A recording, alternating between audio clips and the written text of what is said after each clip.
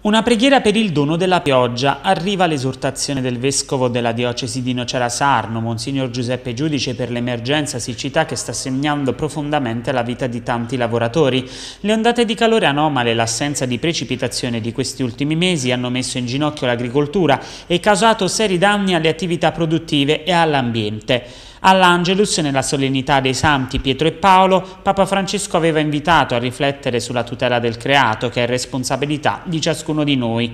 Il futuro della terra, ha affermato il pontefice, è nelle nostre mani e con le nostre decisioni. E l'impegno dei fedeli, oltre che le doverose scelte di rispetto dell'ambiente nelle azioni quotidiane e tutela del creato, passano anche per la devozione.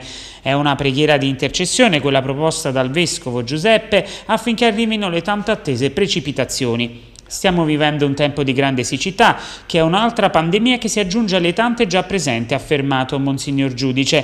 Mentre apprezziamo gli sforzi che gli esperti e il governo stanno mettendo in atto per risolvere quest'altra crisi, noi come credenti non possiamo sottrarci alle nostre responsabilità. La fede vera, alimentata dalla sana tradizione, sa che a Dio nulla è impossibile, per questo vi invito a pregare per chiedere al padrone del campo il dono della pioggia.